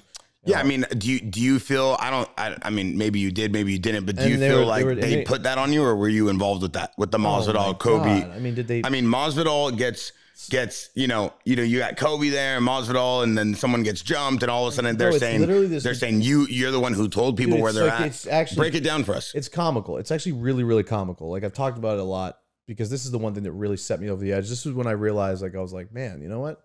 Fuck these guys a little bit. You know what I mean? Like that's not because I always made a rule with Kyle. I'm like, I know they're pranksters. I know whatever. I'm like, just let me fucking show up. Let me execute my job for you guys. Let me just do my job. Just don't fuck with me. That's it. Just don't fuck with me. Like you can fuck with anybody else. Just don't fuck with me. And so that night that happened, you know, we were just out to dinner and it was just me and we just finished the pod. It was me, Colby, and I think three other people. And uh, I mean, dude, look at we everywhere the fuck we go. We just talked about it. I take my phone out and I'm always fucking going like this, right? And so are they. And so is pretty much everybody else live, you know, in the moment. And so that happened. And I guess somebody saw it, you know. I mean, Colby reposted it. Nelk Boys posted it, and we were they all everybody. If you wanted to know where the fuck Nelk Boys, Bob, and Colby were eating, we were eating at Papi Steak. It wasn't hard to find out. Shout out Papi Steak, amazing food. Love it there. It's great. Shout out Favorite Dave restaurant.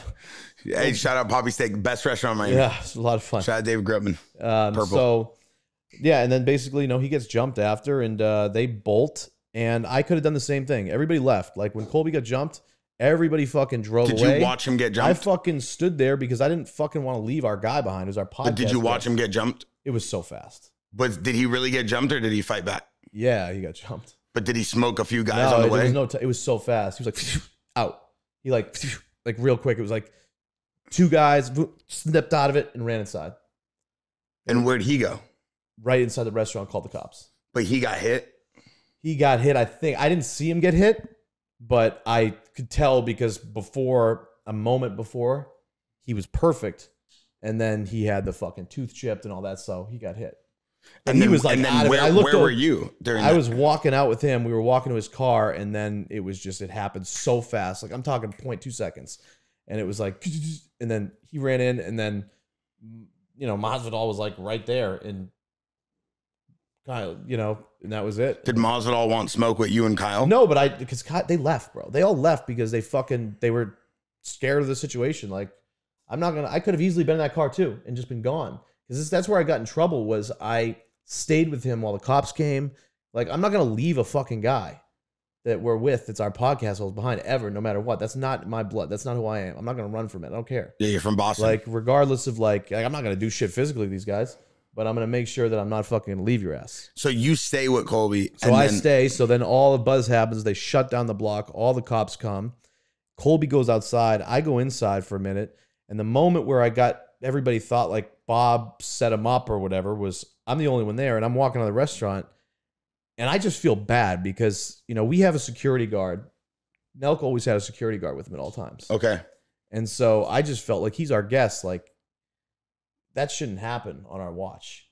You know what I mean? Got it. Like got no it. matter what, Yeah. that shouldn't happen on our watch. But do you feel like Nelk and yourself could have been felt the need to feel responsible for that? Not at all. Oh, okay. Zero Yeah. percent. That's Yeah. the thing. Zero percent. It's not. It's not the only thing we could have done differently was just change our entire ways, who we were from the beginning of when we started this, and not recorded live. But, But was we've done that, Masvidal the one that actually beat him up in front of the restaurant, or you don't know? I, I, I think there was two people involved. I don't know who the fuck the other person was, but there was two people involved. But Masvidal was definitely one of the, the guys that was there. I personally, But it was I, so I love fast, all bro. I these didn't even see fighters. I. I think Masvidal, his speech out of his last fight, I think that guy is one of the best to ever do I it. bro, it's such his backyard fights were phenomenal. His story is phenomenal. He fought Gilbert Burns. Gilbert Burns is an amazing guy. Gilbert Burns is next level, but yeah. It was just a a really big. It was a really feels big, like it was a big miscommunication. it was just a pain in the ass to deal with. And then the but how did you get pinned with I it? got pinned with it because the TMZ video comes out and Colby, when I come out of the restaurant, looks at me. He says, "How does this happen?" And I'm just like, "Dude, I'm sorry. Like, I don't know. Like, you're on the internet with us. Like, I don't know what goes on with blood between." he was yelling at you. He wasn't yelling. He was just like, "What the fuck just happened?" And I'm just like, "Bro, I I don't know." Like the last thing I do, and anybody can tell you, like, is I'm not like clickbait. I don't try and create moments. I don't care about fucking views. I don't. I mean, I don't give a fuck about that. But that's why I think people were like, "Oh, they did it for like views. They set him up." Like, what did I do? Would I call like Masvidal, like, "Hey, he's here"? Like, Are you friends with Masvidal? no. I mean, I met him. I think once. I've taken a picture with him, but no relationship whatsoever Got it. and uh, had no relationship with Colby either prior. And so it was just a pain in the ass. So then after that happens, Kyle is just a fucking dick. And, you know, when people started saying, like, why did Colby call out Bob in the TMZ video? Then Kyle pushed it to another level and was like, I saw Bob texting Colby just because, you know, he does best. He fucking creates stir, he creates buzz. But little does he know is that shit doesn't go away on the internet. And so when the he says something like that, it's going to go to the internet. It's going to go to Google searches. And then when I have my own podcast show that I have to do now, do you know how hard it is for me to call like, hey, Morgan Wallen, right? I call Morgan. If I don't have a direct connection with him, I want him on my show now. Yo, Morgan, you want to come on my show? Hey, talk to my people. You know what happens when I talk to their people? They do a quick Google search. You know what the Google search says? Bob Menery set up Colby Covington. Nah, I don't touch Bob. You can't touch him. He just he's setting people up like, and so like, and then Kyle had so many times where I was like, bro, just tell people that this is a joke. Like, this is affecting my fucking name. And what do you say? And he just like never did it. That, that's what I was like, bro. That's just disrespect. So Was that the fall of you guys? Was that was the, the start of me just being like, like what the fuck. And then there was just other shit with like, I mean, bro, when you're making thirty percent of ad revenue on a show, and you know you're you're asking them to bring on ads because your real money that you're making on the show that you're working so hard for is, you know, Buffalo Wild Wings. Go to here for thirty second ad, you know, doing a thirty second ad with Buffalo Wild Wings, and they pay you. You know, I had a brought an ad for one hundred fifty thousand dollars and said, "Hey guys, we put it on. This means forty thousand dollars for me, or whatever the math is." And uh, they'd be like, "No, no, no, man. We we have we're not going to advertise anything right now." I'm like, "Well, wait a minute. I'm making thirty percent of the ad revenue. Happy Dad and Full Send supplements the only things being pu- pushed in the show right now. I'm getting zero. And yet you dragged me along for eight months and told me I was a partner in Happy Dad and we'll get the paperwork done. It's been eight months, and I've been very kind for eight months. Like enough is enough. And so finally, after you get pushed to a certain point, you just fucking. Oh, is that what the original thing was? You were supposed to be a partner in Happy Dad. I mean, I was told I Yeah. getting one and a half percent of Happy Dad and all this bullshit, and then it was eight months of just fucking talk to Kyle. Kyle, Yeah. John, you know how the fucking works. It's business. yeah. They chose to do business that way, and you know what? At the end of the day, they're gonna be fine. I mean, they're they're killing it. They're doing a great job. Hats off to them. But you know, they yeah, lost. they, they, are lost killing to- it. They lost to Kyle. Lost a good buddy. Me and Kyle were best friends. He lost a good ass fucking dude. You know, in his corner, that's done a lot for him. I've done a lot for Kyle. Like even little shit, like fucking a lot of shit for Yeah, Kyle. That- yeah. That like, you know, he has balls to do that to me because Yeah. I've done a lot for that motherfucker. Do you guys think that the relationship you guys have is mendable? You guys think you can become I'm friends always. again? I don't hold grudges, brother. I mean, I just fix what you got to fix, and that's it. You got to fix. Have you reached out to him on on a personal level? or It's- is you, you can't anymore. too I can't- sticky? I can't, anymore. So it's all legal now. But it's like, what about John or Sammy? I mean, they're good guys. I mean, bro, I did that for eight months. Yeah. don't get it. It's like, did I reach out? Everybody asked me, did I reach out? Bro, we were for eight months trying to resolve this. And, Yeah. and we were so peaceful. Look at our fucking emails. I mean, look at this. Ever goes to like deposition or anything like that? yeah.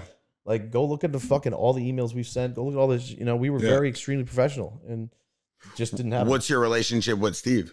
I love Steve. Steve's, Yeah. Steve's actually done me some favors over time. I think Steve is one of the funniest guys, and I think Steve is like the face of the internet. This guy He does whatever he heart. wants. He has the biggest heart. He's the nicest guy. During COVID, we were buying stocks and stuff, and the guy would call me every day, and he'd like have a bunch of good ideas. He's just a phenomenal person. Uh, Every party, anytime, this guy's always smiling. That guy deserves an award. He's funny like the heart, the heart of that brand. You know? The funny thing about Steve too is, you know, like all these giveaways and all this shit that he does is like I've seen him so many times, cameras off, like no cameras on, doing the most amazing things for people that he doesn't need to do. Yeah. And you know, so he's he's that's that's a solid kid right there, and he Yeah, he you know, he truly just stays cares out of all, people. he stays out of all of it. But you know, it does hurt our relationship because we really can't associate with each other. Yeah, I mean, but you got to put yourself in his shoes. It's hard for him. He also, I don't is- blame him Yeah, he's also the face of those brands, and he's doing a phenomenal job. That guy's he should get an award. He's probably the best content creator in the world. I mean, his I- reward is going to be he's making a lot of money. That's good for him. I, I, yeah. I, I, mean, but wants to see me besides money, not everything has to revolve around money. Just in terms of recognition, that guy doesn't get enough respect for the giveaways and the things he does for people. Yeah. I want to I want to talk about this. Do you have any connection or interaction with Jake or or, or Jake Gyllenhaal or Conor McGregor? Because it seems like you're involved in this Roadhouse movie and no one even knows about it. But we saw Jake walk in at a UFC fight. Like, explain this to me. Am I involved in the movie? the- in the movie. Probably going to win an Academy Award for it. So you are in the movie. I'll be nominated probably for Best Supporting Actor. So you are in the movie. Am I in the fucking movie? I am one of the top characters, performance of a lifetime in this fucking thing. okay, can you break this I'm down in- for I'm me in it- I'm in it for for people about- that don't know? I'm in it for about eight minutes. So I'm at a UFC fight and uh, I'm walking into UFC. We're walking down the main thing and I hear this guy who's in an important section, kind of, you know, because you'll walk out. Sometimes people will be like, Bob, fuck you. No, boy, love you, Bob. Hate you, Bob. Fuck you. blah, blah." And so you'll hear a lot of different Is it shit. mainly hates or loves? All loves. Okay, good. That's why a lot of people talk shit. It's like they don't say it, whatever. But so this random guy comes up to me. He's like, "Hey, Bob, I want to put you in a movie." And I'm like, I look over and he's just sitting in an important section, and I'm just like, "Hey, man, yeah, sure, I'd love to, whatever." He's like, "I'm, I'm doing this movie with uh, Gyllenhaal and all this. I'll talk to you later, but it's later." And I'm like, "Okay, I didn't think anything of it." A year later, he calls me. His name's Joel Silver, Okay, one of the biggest producers in Hollywood. okay. And he called me. He's like, I want to put you in this movie.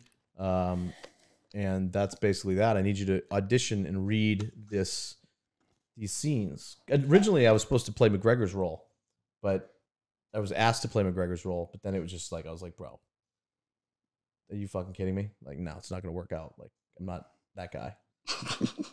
So- they, they asked you to be a main Yeah, character, I- I and you told them no. No, yeah, I mean, I was just like, I mean, I, they asked me to do it, but I think they were just sending a couple options to read just to hear.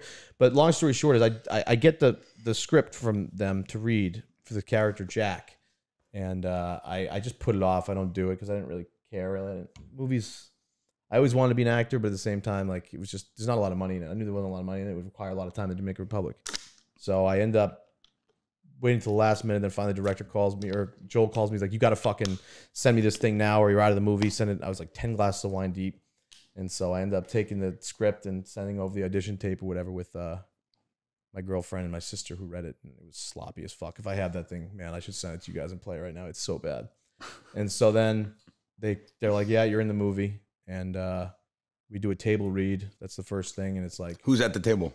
we did it on Zoom, and so it was Zoom. It was Jake Gyllenhaal, Conor McGregor, fucking just in all the actors that are in the movie. Any other good actors?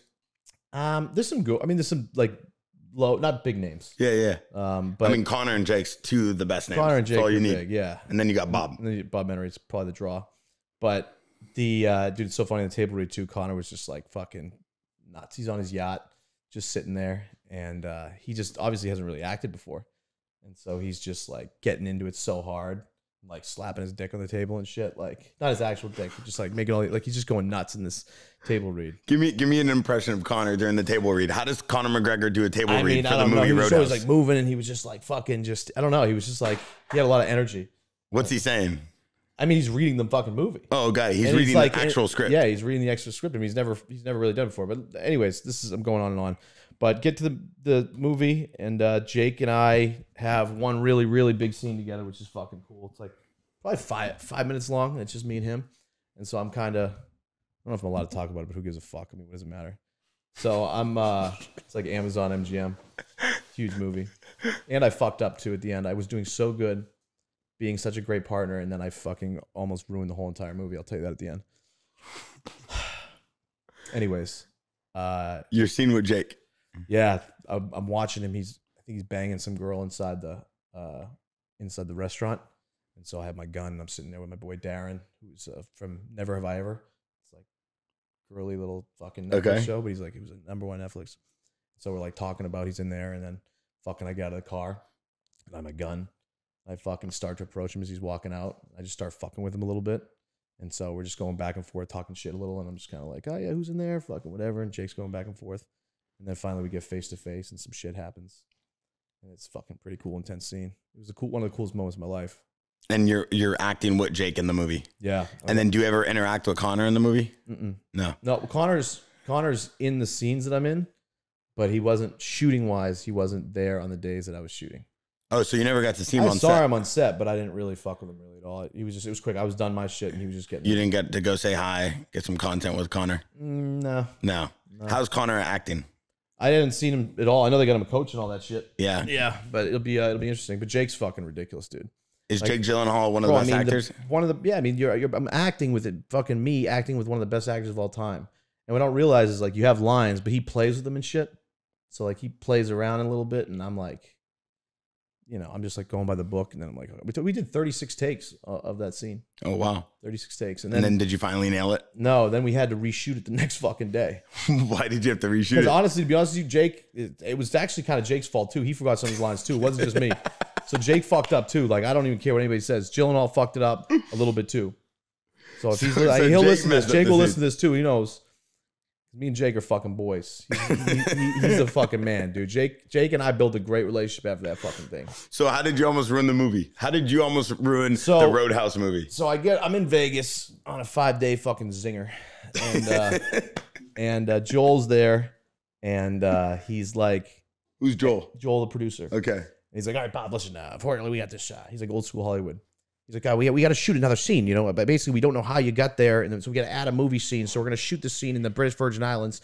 You're going to fly down uh, in, in two days. We're going to fly out there. It's just one day. Uh, Doug Liman, the director who did Bourne Suprema, whatever they are, the Bourne movies and all that. He's like, he's coming down. He's flying down in his private jet. We're all going to go down there. I'm like, yeah, fuck it. I'm in Vegas. I'm like, done. Let's do it. We're all in. Set it all up. So they set up the whole thing. They moved the, the, seclu- the I think it's called like this some boat, big ass yacht that they have. They just moved it all to the middle of the ocean in the British Virgin Mhm. Islands. Everybody's flying down, the whole crew, crew, just for my scene because I have to like make sense. This is Bob's moment.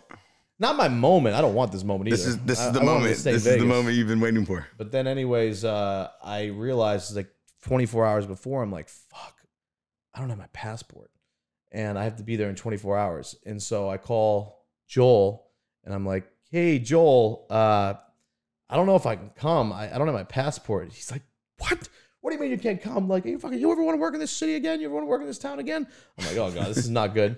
So fucking, I have to be there in 24 hours, and I have no passport. I have no way to get down there. Long story short, is now all of Hollywood, Amazon, MGM are all trying to figure out how to get Bob into this country without a fucking passport.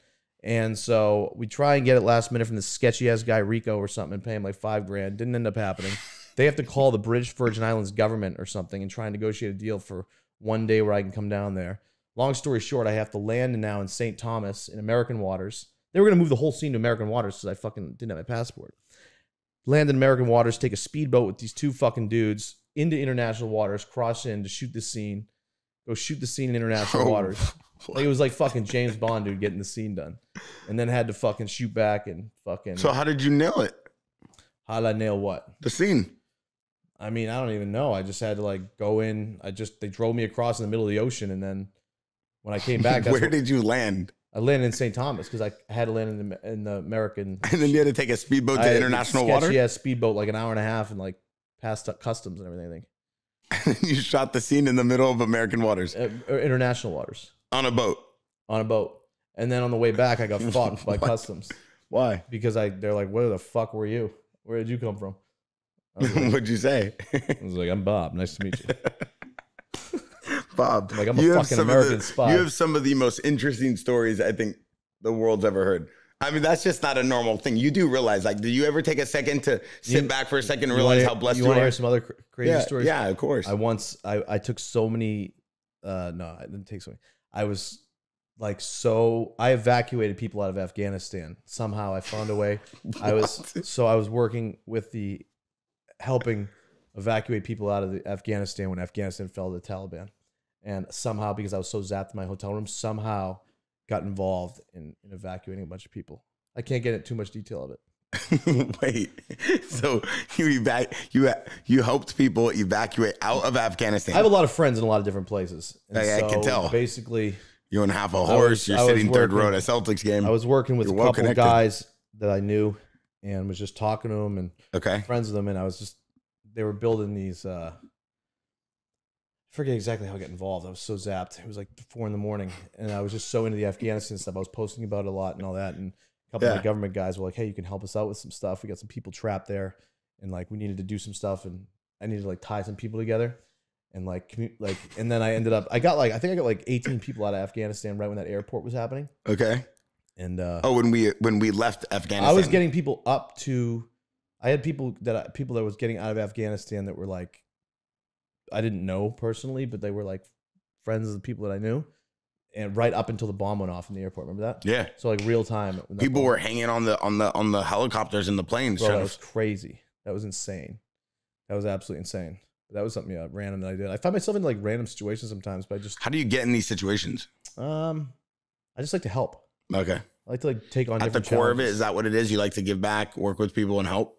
yeah. Yeah. I don't know what the core is. I probably have to sit down with like a therapist or something and talk and figure that out. So for the Dennis Rodman Award, who are your five favorite athletes of all time to party with? um the five top five that I, for me to party with that I have party with. Yeah. Fuck, I'm gonna need help. Brett, what do you think? Five athletes? Athletes to party with? Yeah. Uh, J.K. Dobbins is one of them. JK would But J.K. fucking and I um, got twice, almost got in a fist. J.K. beat the fuck out of me twice. What'd you do to him? Marlon, He's talking shit. Huh? who would party with? Marlon doesn't party though. Overall celebrity athlete status. Who have you had the best time with partying? Most fun probably was Morgan Wallen. Really? Why is that? He's a legend. Morgan's great. This was right Great after music. he was, you know, canceled for that thing. And then uh, we kind of hung out a few days and he's just the man. That was the first night I hired Brett. Was the first night that I ever hired Brett was his first assignment at three in the morning was to hang out with Morgan. So I had him, I hired him on the internet. We met through DMs. I had him get a book Airbnb in Nashville and I said, I'm gonna come down there. Fuck it. He bothered me enough to you know, want to work with me. I said, all right, just book me this place, stay down there. I didn't show up for a few days. So he's like, what the fuck's going on? And finally, after three days, I show up at the Airbnb. I'm like, hey, what's going on? It was like one in the morning. And uh, I was like, all right, I'm going to bed. Uh, I'll get you up in the morning. We'll just figure some stuff out and whatever. So I go to bed. He goes to bed. He's been sitting in Airbnb three days in Nashville. Like, what the fuck's going on? By himself? By himself. And then uh, It's a great way to treat your assistant first day on it wasn't job. even my assistant. He was just a dude. And so then I end up waking up. I get a call from Morgan at like three in the morning. And Morgan, by the way, is like not a party person really anymore or anything like that. But he was probably having fun during the stage a little bit. He's allowed to. And so he's like, "Yeah, come on out. Let's let's hang out." So I'm like, "All right." I go downstairs. I wake up Brett, and I'm like, "All right, first mission. We're going to see Morgan. We're going to fucking party with Morgan." So it's three in the morning. Go down there. He comes down with me, and uh, Brett does, and they end up hanging out for the whole night. I went home to sleep. I get a picture from my driver, and it's like Brett passed out in Morgan Wallen's lap at like eight in the morning. I'm just like, this fucking kid. I hired this kid to come down. He's a fucking drunken fucking train wreck. and uh, I'm like, great. So next day he comes in. I'm just like, bro, this isn't how I run my shit. My camp here. Oh, I mean, this is how you run your camp. That you know, what, you know what's funny? Can I, can I tell you about this? This this hurts because I this is a sign of this is not a good sign. When you see something like this, you're like, their life's a mess. This just fucking happened. I, I made it two and a half years with this fucking thing. I think not being broken. Maybe it's time to restart. Nah, we're always good. Okay. What is your favorite city to get zapped in? Favorite city to get zapped in is going to have to be Los Angeles. No, fuck that. I'm sorry. Uh, my, I mean, now it's. I think it's Vegas is fun now. I love Vegas is my favorite. Oh, wait a minute. No, Scottsdale. Oh, Scottsdale's amazing. Scottsdale's amazing. the yeah, best. Like on. if you're going through shit, Scottsdale's amazing. if you're in a fucking getting out of a relationship or you're having some trouble, you go down to Scottsdale. Nobody gives a fuck. Nobody talks down there. There's no drama. You go down there, fuck whoever you want. Nobody cares. What's uh what's your what's your favorite sporting event you've ever attended? I feel like you've gone to a lot of events. I go to a game a week every week in the NFL season. I went to the Super Bowl a bunch of times. I've been to golf tournaments, waste management. The favorite one, UFC, by far. There's nobody ever that does a better job than the UFC at putting on a fucking. I agree. There's fucking nobody by far because he Danny just doesn't give a fuck. Like I said, you can do whatever the fuck you want. He's the best. He is the best, and he's done such a great job with that. Is there anyone on your bucket list that you'd love to interview? Denzel Washington, probably Tom Hanks would be cool. Really? Yeah. Why Denzel Washington? Because I was I studied theater and acting growing up, so I wanted to do uh, acting. So I was used to watch like Denzel and all that stuff. Yeah, it makes sense. How do you prepare like for for interviews for podcasts? It seems like you're always very freestyle. It seems like you just kind of like wing it. Do you really like prepare? Do you ask yourself questions? Do you learn about people or do you just kind of let them talk? Like we watched a lot of your full send Nelk Boy And that's what I get a lot of podcast. shit for. I get a lot of shit for not preparing stuff. Really? But this is the thing. I don't I don't prepare because you know why? A I this is people are like, "Oh, Bob asks dumb questions." It's like a strategy that I have. Like that's how- I do it on purpose because I want to learn. I'd like to cuz I feel the conversation flows more true and free if you don't know the information. So like if you're just sitting down with somebody and you're just like getting to know them, you already mm-hmm. know all the information, the mm-hmm. conversation changes. It's different. So I'd like to go in with little prep as possible. If it was somebody like a Candace Owens we're sitting down with, or like a political person, I'll try and study up a little bit. But Who who is your favorite person that you interviewed so far? I loved getting high with Mike Tyson. That was really fun. That was all John. John set that up. Um, getting high with Mike Tyson was fun. Portnoy was great to sit down with Portnoy. again. Yeah. Are you and Portnoy good? I mean, I feel like there was a lot of beef between you two. it wasn't really beef. I was just young and kind of kind of coming up in the social media stuff, and I I think we had, yeah, I don't know, we had a little bit of beef, but now we're good. I don't think there's. We actually talk once in a while and shit like that, but What what are your three favorite golf courses that you've ever golfed at? Um, Riviera is one of them. That's I like the Preserve or Reserve, I think it is in Northern California, hmm and um, MP M, uh, MCP. What is it? Fucking. I forget what it is. Spyglass, the one that next to Spyglass. I forget. I don't know. Is there anybody that you enjoy golfing with more than others? I always like playing with my buddy Brian Zurif, who's a producer. Got it. Um, I don't really play a lot of golf anymore, though, much Why is that? Just because I felt I, I broke my sho- shoulder on, my, on a scooter.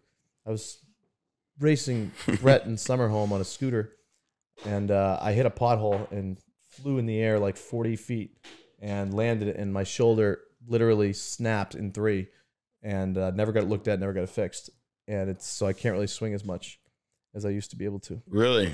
Does it hurt you? No, it feels great. Does it hurt you that you can't play golf as good as you used to? I can still play though. So Oh, if there's like okay. a money game or something, somebody challenged me to a money game or something like that, I can step up and play. Do you do you still think you have a nice swing? I have a fucking great swing. I'm a great golfer, Oh, you are. and I play Scratch like golfer? when people talk shit. I play like I turn it on. Are you a scratch golfer? Um, no, I'm like a ten, but I can play like a scratch if somebody pisses me off. Oh, so you have it in you. You're him. I have it in me, but I can't. I couldn't do it consistently over time because I'm too my I, I get too distracted. I suffer from severe ADHD. So we've seen a lot going on with you and women and the Nelk Boys and this and a lot of your controversies. I feel like you you put them on social. You want people to feel involved with your life and feel what you got going on. And I feel that's why your audience loves you. When it comes to women, what do you look for in a, in a woman? What do you look? What are the qualities that attract you to a woman? nothing anymore. Nothing. No. Why is that? I mean, I just have no interest in really. After, if I decide to, I'm probably gonna not be in a relationship for a while. So I'm gonna focus. On I feel like a lot of people say that when they get hurt, but you got to get back on the horse. You no, can't let no, it- no. I'm no, no. I'm not gonna fucking dude. There's no fucking chance. Again. I had two and a half years of being in a relationship with somebody, and I the, I make priority number one and make business priority number two, and then you know you fall out. It's like what the fuck was I doing? Why did I move business to two? Business should be one. So do you feel like it's hard for you to balance a relationship and business at the same time? Yes, only because I'm very giving to my relationship, and I'm very like Really? Like I said, I make it number one. Really? So like whatever will be happening, I'll always make sure that that's taken care of first. Are there keys that you kind of incorporate into your relationship with women to make sure that it stays healthy and it stays fun? I mean, it's the most fun in the world. My if you're in a relationship with me, it's the best fucking thing in the world. What does the relationship look like being in with Bob? I mean, we're just there's no. I mean, talk about just the most spontaneous fun. Like, I mean, I'll just wake up and be like, "Yo, let's go to the fucking 49ers Monday Night Football game tonight. Let's go to fucking this. Let's go to that." Like, I like to just move. You know what I mean? So and girls like that, but there was a time where like you know I was dating that girl obviously, and it gets tiring because I I don't like to I I don't, I don't stop.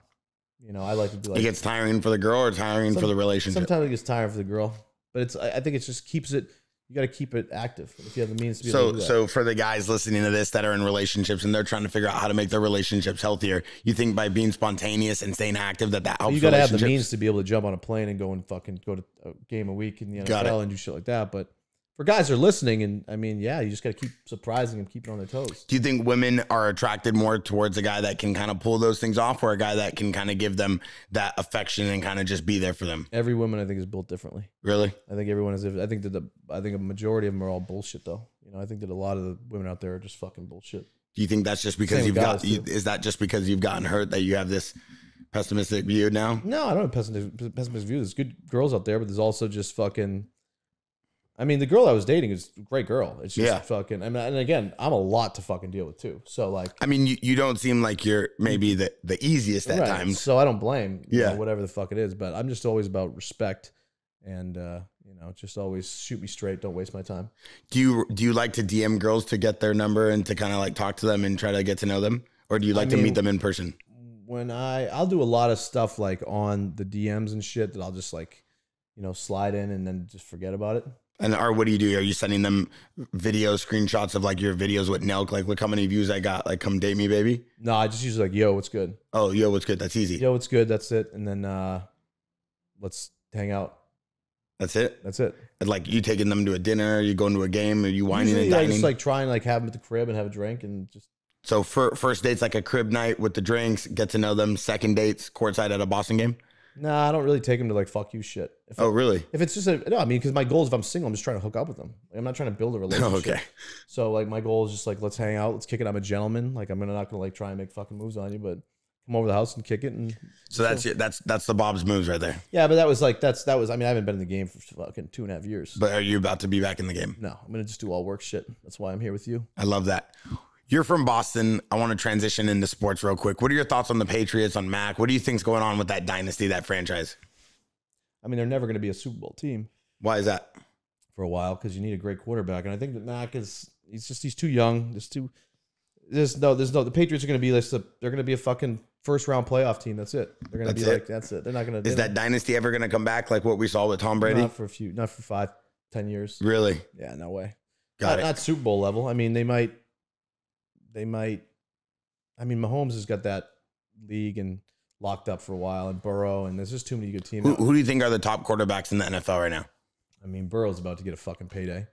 Um, Joe Burrow's definitely, I think, up there. I mean, Mahomes is obviously the best to one of the best to ever do it. Um, and yeah, but we had a lot of good years with Brady, man. It was fucking awesome. So would you say right now Burrows and Mahomes are probably the two best quarterbacks in the NFL? Yeah, Yeah. yeah. In terms of sports gambling and sports books, we see you work like what sports gambling sites and sports books, and then we see everybody getting brand deals, and we feel like gambling's like just at an all time high right now in the U.S. Yeah. And your voice and your your following and the way you operate, I feel is like a is like a core demographic of that. What do you think makes this like idea of sports gambling so exciting right now in America? Like, why is it taking off faster than it's ever been before? because it's becoming fully legalized everywhere. So, and anything with that much money involved, and now that's fully legalized, you're gonna start paying all these people to Mhm. make it really interesting. Mm-hmm. And so, I mean, I think the world's going to shit with this shit. I mean, this shit now going state by state, and when it's 50 states across the U.S. all fucking legal and people gambling like crazy, it's just not good. So it's fucking, it's gonna be just insane.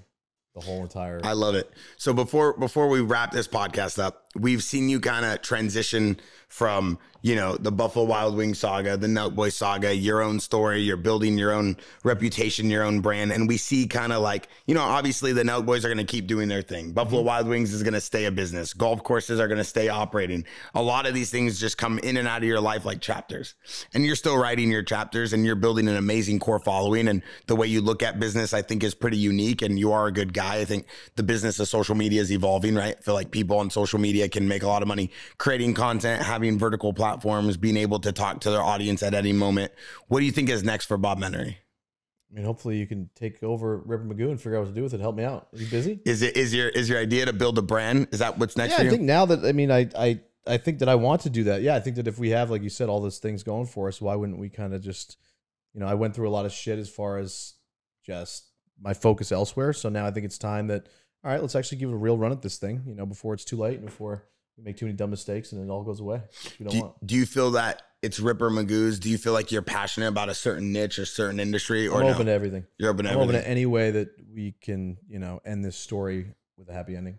And is your idea to kind of just build your own brand now? Is that where you're at? Or are you trying to look for a brand to partner with and to be a part of and to kind of take that into the next level using your platforms? Open to all options. I think the easiest one is to jump on something that already has a little momentum going. Yeah. Just because, like, you know, for me to try and I've tried to kind of do it on my own and build it on my own and do all Yeah. that stuff and trust people. To, Yeah. It was just a headache. So it's probably easier to just get a little less, but jump on board with somebody's already. Are you doing doing your own podcast? I need to, yeah. I mean, I do deal with Rumble, and uh, I just, like I said, mentally just wasn't. They've been cool with me. They haven't really put any pressure on me. I'm supposed to do like 60 episodes already. I've done two. So Yeah, before we end, quick, I just want to talk about that real quickly. We see a lot of content creators jumping on Rumble. We saw Steve, we saw Yeah. you, big content creators. The Rumble commercials with Steve talking about, you know, YouTube's rights and things. I'm not sure the the ins and outs of why everybody attacks that certain niche of YouTube. Like they all talk about the YouTube rights. It seems like everybody uses YouTube. I don't have any problems with YouTube. It always works well for me. Um, why do you think that people are transitioning to Rumble? I think people transitioning to Rumble is because they're a lot just more lenient when it comes to flagging things. And so with YouTube, you can go and fucking just upload, you know, some shit and kind of just not know. Like for instance, when we did our Trump interview, like they flagged us for like electoral fraudulent talk or something random. Like Rumble wouldn't do that. So when the Trump episode got taken down, um, or at least unless they did it, you know, sneakily and did it to just put it on full send and draw eyeballs to full send, which they could have very much done and faked that whole takedown. Um, but I think that just they're just way more lenient when it comes to just allowing creators to just speak their mind on anything without, you know, having to worry about being demonetized or, you know, fucking, you know, be taken away or taken off the, you know, whatever. Because you can work. like Steve. He worked so hard for YouTube, and he just got fucking ripped off. That's crazy. Yeah, so did YouTube delete SteveWillDoIt's YouTube actual channel? I think so. I believe so. I mean, you never know what those guys are doing over there with Elk and John. They're crafty, but I think that no, that was real. I think that that he got his channel deleted. The only thing I might be a little skeptical is that that Trump interview when they said it got taken down off YouTube. Uh huh. I don't know. I mean, maybe it did. I think they showed the picture of it getting ripped down, but it wouldn't have been wouldn't have surprised me if they had just kind of organically removed it and then shoved it on fullsend.com where you could only watch it to just drive mass eyeballs to that. How who set up that interview with Trump? fuck. I mean, th- three in the morning, I fucking started the process. I had the Secretary of Defense and another guy from the CIA coming down to talk to us because I wanted to have, like, I wanted to make a really impactful interview on the timing of everything. Like, you know, like Russia just invaded Ukraine. And so I was like, what, like, let's stay up to speed on that shit. Like Antonio Brown, when Antonio Brown Yeah. took his shirt off, that was a huge story, right? I was like, all right, let's go get Antonio. I went and got Antonio. It was a big, we beat everybody. Barstool beat everybody for that interview. Same thing with that. I was like, fuck, you know, I want to talk to somebody who knows what the fuck's going on with Russia, Ukraine. It's an interesting story, and it hits a whole different demo. And so I was with Steve in the hotel room and popped a little Adderall at three in the morning. Was like, you know what? Let's put the Secretary of Defense and the other guy on hold for a minute. I really want like now's the time to get the president. So I just want ape shit for like ten hours straight on my phone, just hitting up all the government guys, all the people. Dana White, who was the one at the at the end of the day that pushed it through, uh, who got Trump. But there was a lot of work between three and ten where I just like was, you know, I started the process of being like, now's the time. I think they would have got Trump no matter what through Dana, but it was just the timing of it was. And then how did how did the conversation with Trump go? Hey Trump, we want you to be on our podcast. So after I had called Dana several times and he picked up the phone, he's like, "Are you in jail? What's going on?" Because I Facetime like sixty times because I just was like, "I want the fucking get the president on here." He basically was just like, "All right, let me call Kyle," and call Kyle, and they talked, and uh, then Dana just basically called Trump, and next thing you know, Trump was just like, "Yeah, I'm in," and uh, we went down to Mar-a-Lago. And when you got down there, how was Trump? Eh, he was cool. I mean, we right when we walked in. First of all, I mean, I, I worked for like twenty hours to make this fucking just start the process of it. And Kyle was always bashing me and me and like, yeah, look at the Trump administration doesn't know who you are, like busting my balls and shit. I was like, all right, fuck you, buddy. So to fuck with him, I texted my guys when we pulled up there because I knew some of the Secret Service guys involved. And we pull up in the van, and it's like eight of us in the van. And the car opens, and they're like, "Hey, listen, I need every motherfucker's ID in this car except for this guy." Pointing to me, and I was just like, "Fuck you, Kyle. They don't know who I am. Suck my dick." And so then uh, we fucking go in there, and they fucking wand us and shit. And they're basically like, "Yo, listen, here's the rule." I mean, Steve's got like a two six packs of like Happy Dad seltzers. Like we're high because we all smoked weed in the Sprinter van before, and uh, they're wanding us, checking us for shit, and they're like, just don't wander or we're gonna kill you. So they kept us in this little room, and then we sit down, and me and Kyle look at each other like, what the fuck are we gonna talk about? Before you know it, he walks in, and he's like, Dana White owes you a huge favor, huge favor. He's like, this is gonna be the biggest thing you've ever seen. I, I was just like, whoa! I'm like, holy fuck, this is actually happening. And then we were sitting down, and the president's right here. But we kind of like, you know, we spoon fed him that. Like, we didn't really ever. He must have loved us because like we didn't really challenge him or anything. We just gave him the floor to just brainwash the whole entire. Are you not a Trump fan? No, I I, I, I have no problem with Trump at all. I trust me. I I'd rather see that than what's going on now. That's amazing. So that's probably the biggest guess you've gotten for for the Nelk Boys, right? I- but I'm not going to consider that. That wasn't me. That wasn't really me. That was, was that was that. I was the I arranged the timing of it and pushed it and made it happen. That at that time, that would have happened. I think regardless at any time. But that was a Dana White move. That was a Dana. And Dana White and Trump are like best friends, right?